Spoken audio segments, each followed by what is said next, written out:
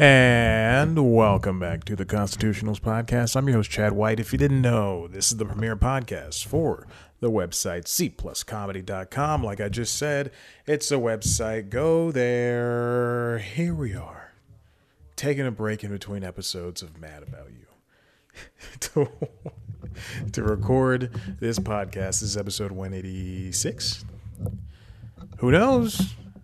You know. I don't. Because I'm busy trying to fix this god blessing microphone. It keeps freaking falling over. And yes, I know the correct answer is for me to get. I might be twisting this in the wrong direction. the,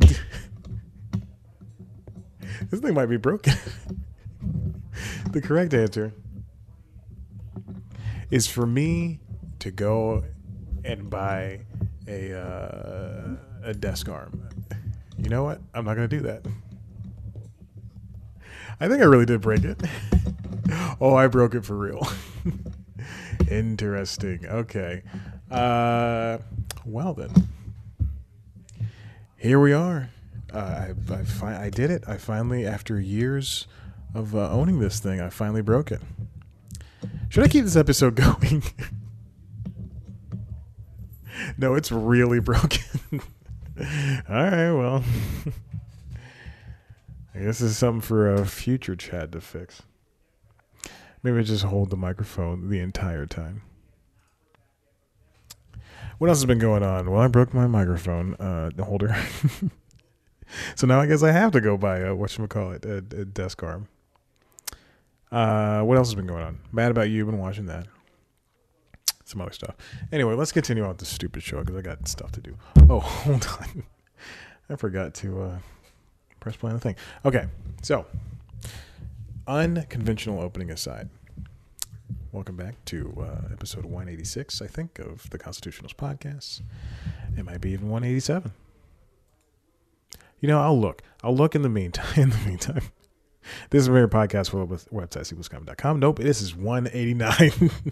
I'm about three episodes off. I'm back into 2020. Baby, this first story comes from Natalie Jarvey over at The Hollywood Reporter. Apple Mole's podcast subscription push amid Spotify's land grab. So this is going to be a very podcast uh, business heavy episode. Um, but what is it? So what, what? So what do we know about Apple's uh, world of podcasting? We know that they are the best RSS procurer holder of um, of, of podcasts. Uh, and why do we know that?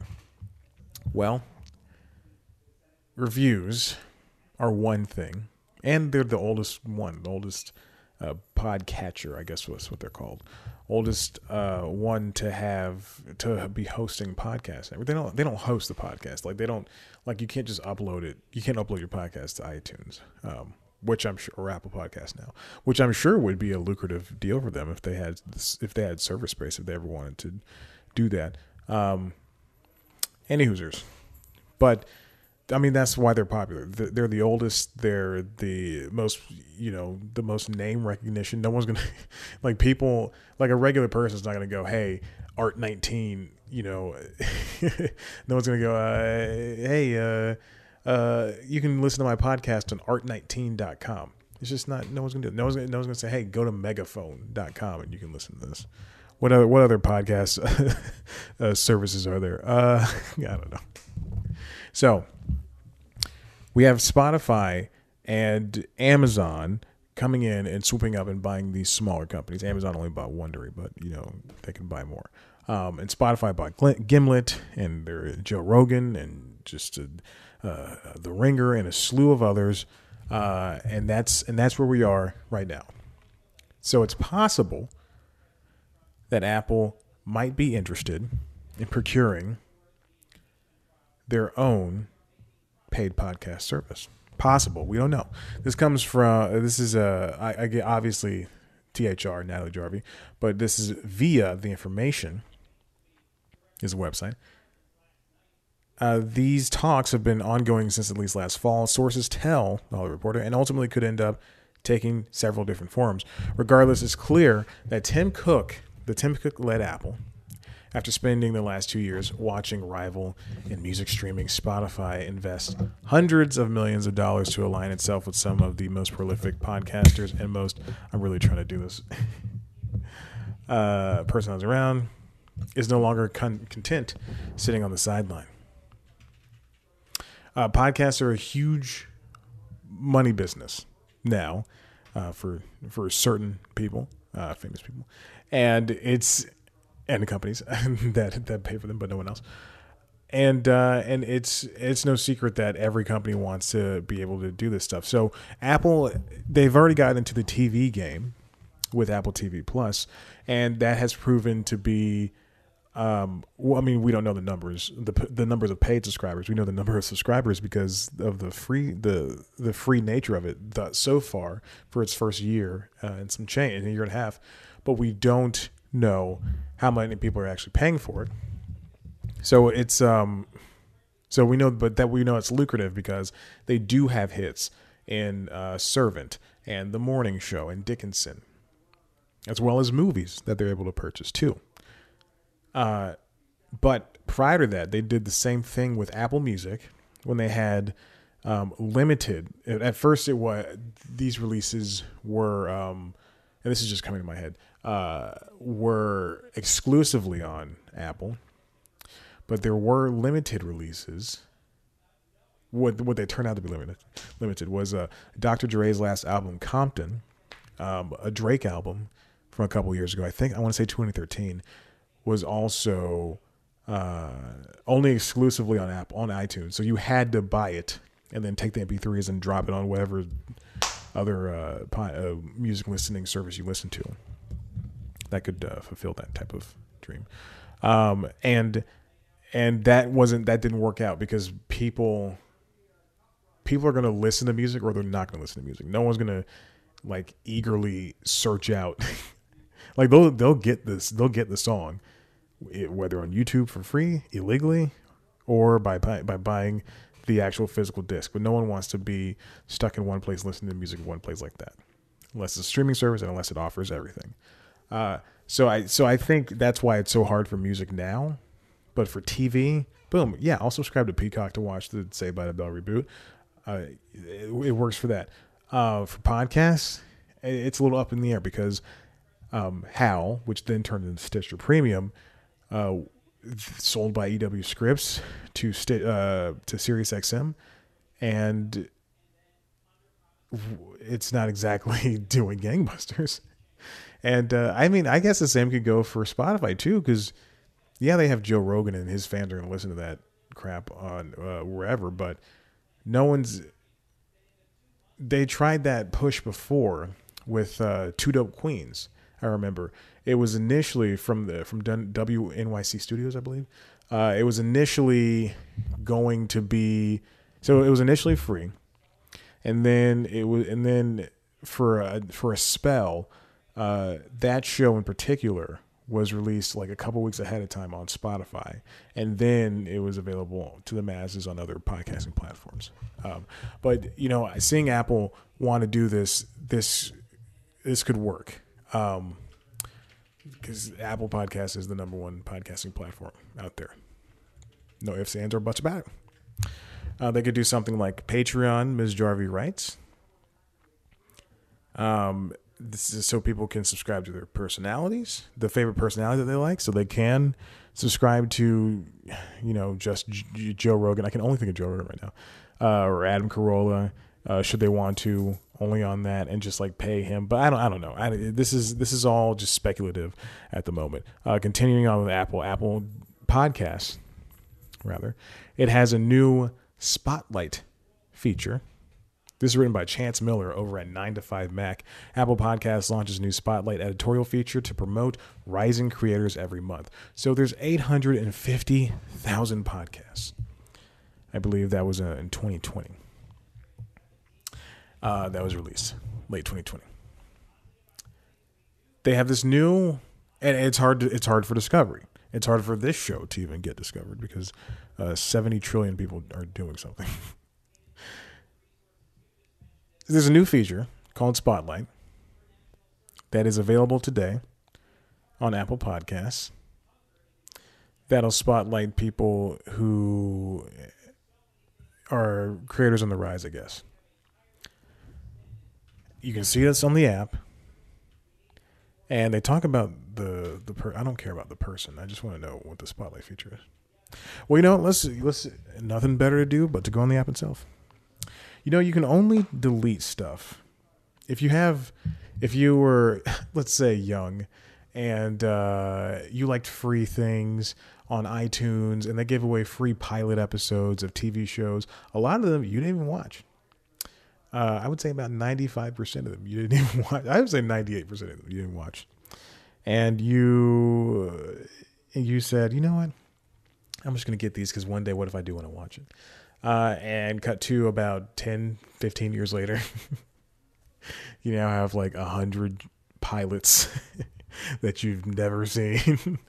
Uh, and then one day, maybe this past week, you you go down, you, you have to you have to download iTunes back to your laptop because you deleted it because no one uses iTunes anymore, and you had to chug along on that very sluggish app and right click, uh, delete from library, light right click delete from library on every single show.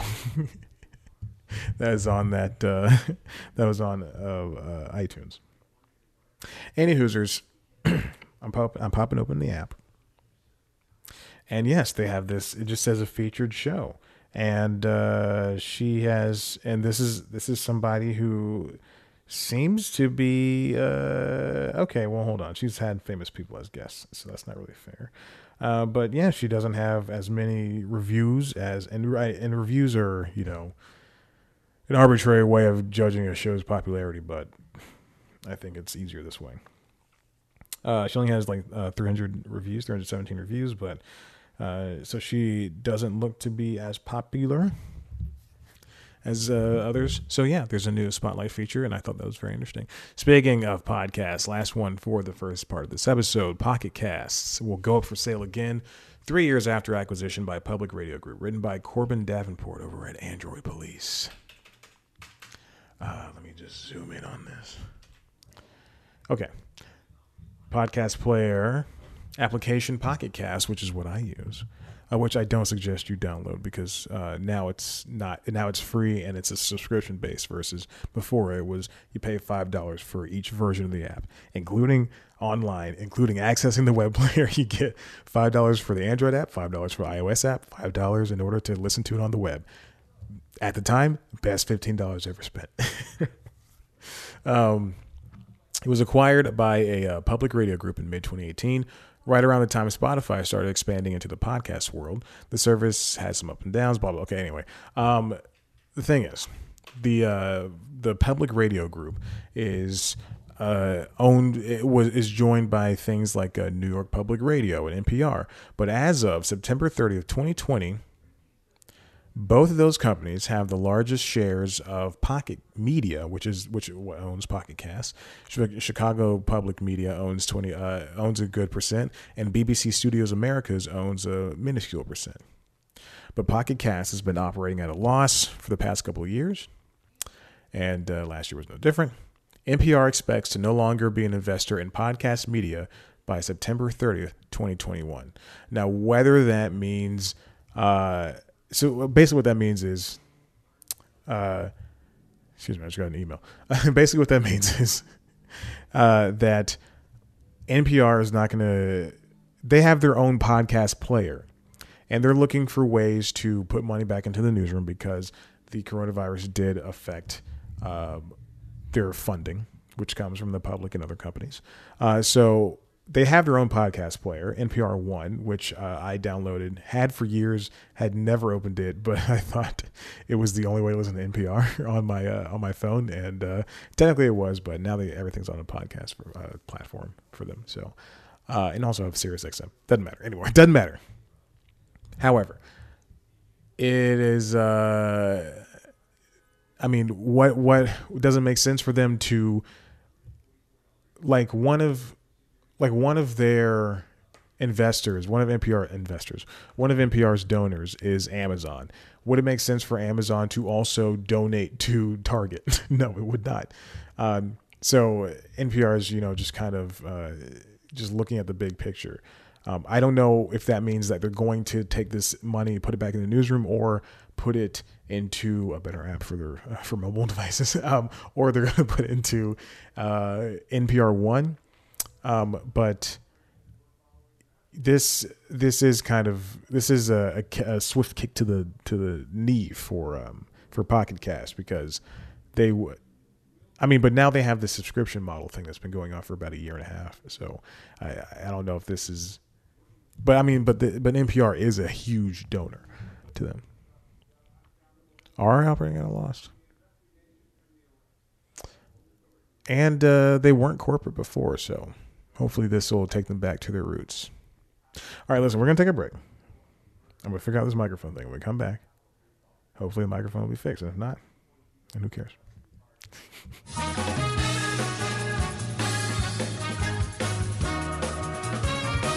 and welcome back from break.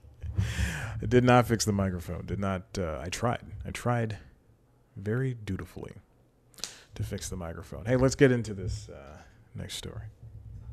I got information about the cat. She is currently sitting over her food bowl as if I will be feeding her within the next 15 minutes. She has to wait 45 minutes to get fed. Keep him on a schedule. Keep him on a schedule, baby. Let's go. Oh my God. Speaking of podcasts, this is a story I admittedly have not read, uh, but I did see the headline for, and I thought it was interesting. This comes from Ashley Carman over at The Verge. Hello, Ashley. Spotify is paying podcasters tens of thousands of dollars to buoy its own sponsorship tool. I just keep getting emails left and right, baby. And they're all about bills.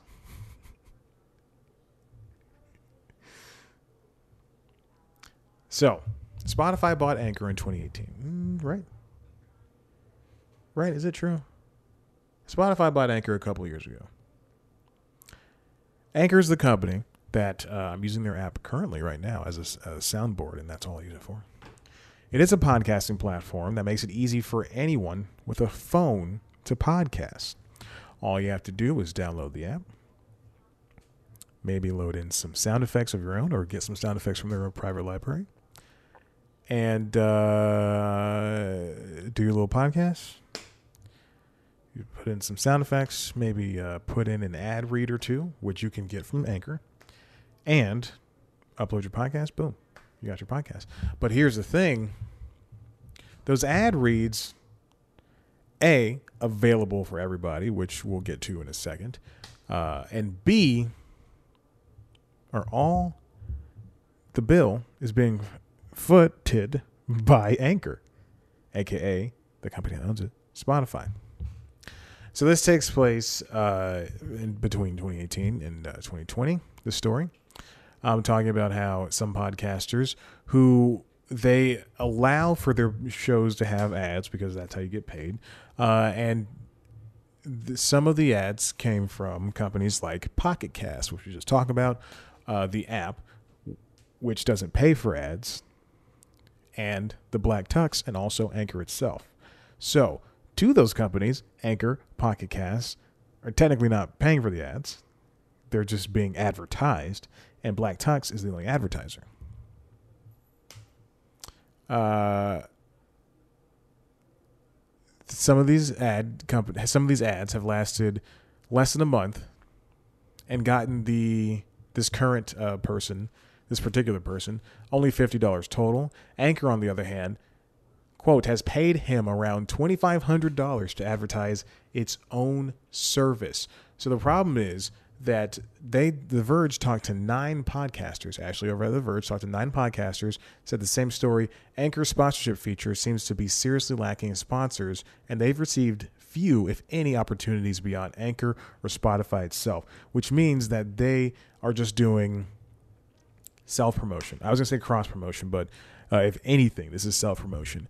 Um, it's kind of like it's kind of like if I uh, said, "Hey, listen to the pod, listen to the Constitutionals wherever you get your podcasts." At the end of uh, the Constitutionals, which I do every single week, which I've done for the past 187 episodes, 188 episodes,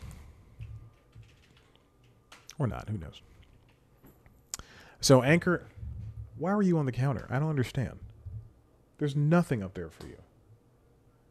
So Anchor, uh, Anchor has software. Uh, there's there's multiple versions of. Um, well, there's only a couple. There's a couple of versions of software for podcast hosts, not like a host like me, but a podcast hosting company uh, that can use right now. That's kind of like it's automatic software. So uh, earlier when I said they can input ads, they can do ad reads and all that stuff. Uh, for Anchor in particular, all right. So the, so the, let me do the first one because the first one you'll you'll notice in a second. Um, shows uh, companies like Stitcher Premium will go with like a company like Megaphone, which is a uh, an, uh, a, a, podcast server host, I guess, whatever. they provide the RSS feed and all this stuff, and, and they host a show, whatever.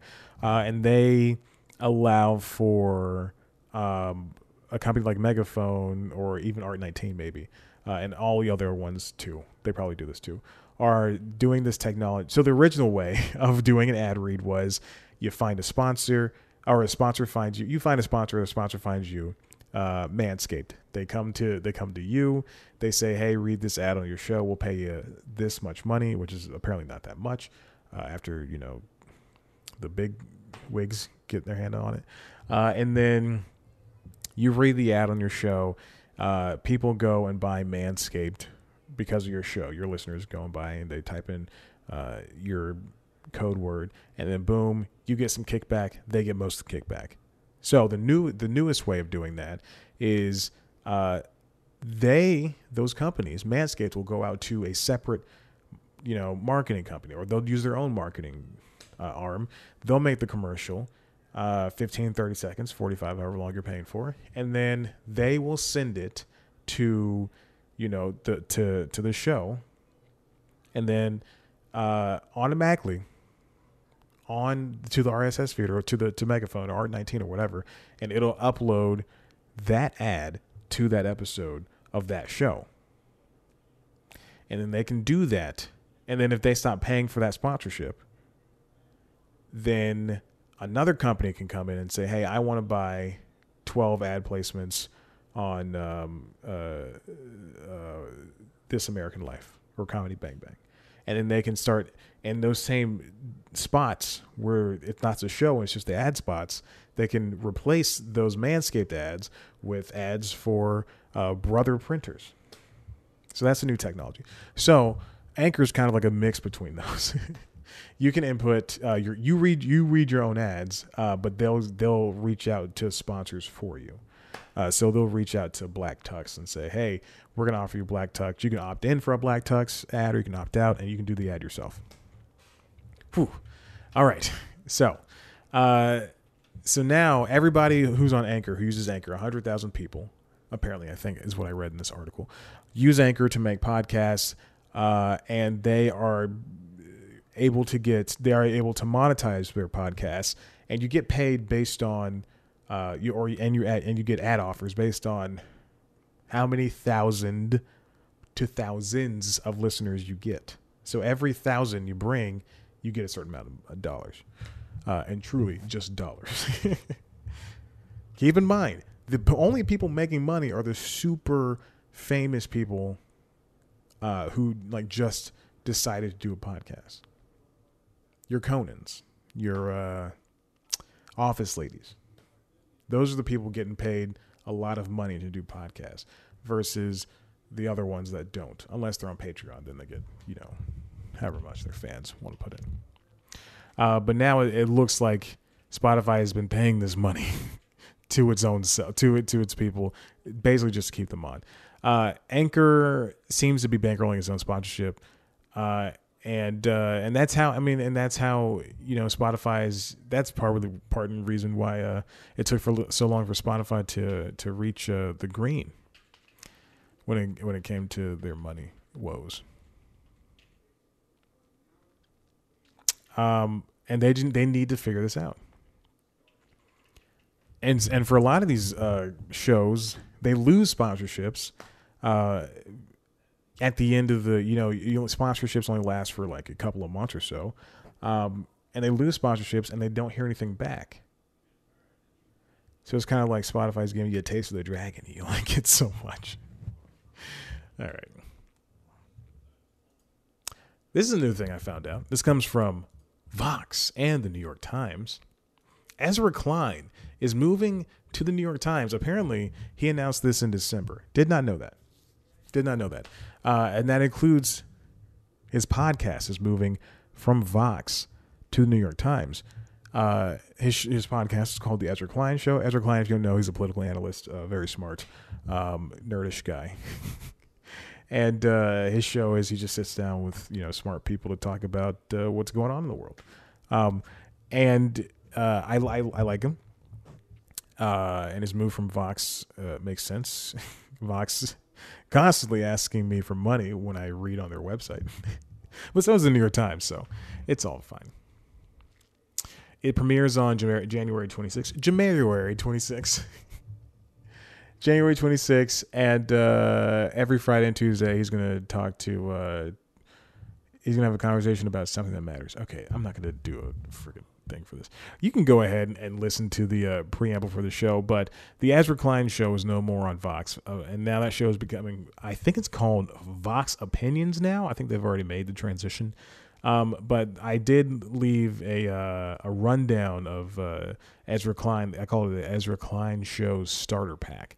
Um, and uh, I can only assume that the RSS feeds for that show will be moving over to a different host. So who knows? But he's a smart guy, and uh, I uh, I wish him the best over at uh, New York Times. You're not getting fed, man. Not for 25 minutes. Why are you looking dejected? What are you doing? I'm talking to the cat. I'm sure that's great for the video watcher. All right, listen, I got to fix this uh, podcast uh, micro, microphone arm. Listen, uh, like if you like what you heard here, and I don't know why you did, head on over to the website, cpluscomedy.com, where you can see me talk to your favorite comedians Chris Gethard, Maria Bamford, Craig Ferguson, Jermaine Fowler, Ron Funches, Jimmy Pardo, just, just like a handful of people I've spoken to. You can also head to the website, youtube.com slash comedy to the URL. and uh, see a version of the show in video form. I don't know why you would do that. See me sitting in a Target sweatshirt with uh, Target shorts and uh, probably Target socks. and uh, definitely Target underwear. Boxer briefs. I like to keep everything nice and tight. also on youtube.com slash C plus comedy, you can find uh, our premiere show News Time which is like the Daily Show, except less funny. I take one story and I talk about it. This week's episode is about the inauguration, and I put it out on inauguration day. It's a very, it's a, it's a, it's a good episode. Not like last week's episode, which was phenomenal, but this week's episode, pretty good. Have to figure out next week's episode. You can follow us on Twitter Instagram at C Comedy. Follow me on Twitter and Instagram at Chat Black White. Like us on Facebook, rate, review, subscribe to this podcast literally wherever you get your podcasts. Uh, only the big platforms. I don't, don't want to put it on like Radio Public or whatever it's called or uh, the other ones. It's mostly Apple and Stitcher and Spotify and Google. And uh, yeah. All right. Thanks for listening. Tell your friends. I'm done. Bye. Oh, nope. It didn't start. Okay, here we go. Bye.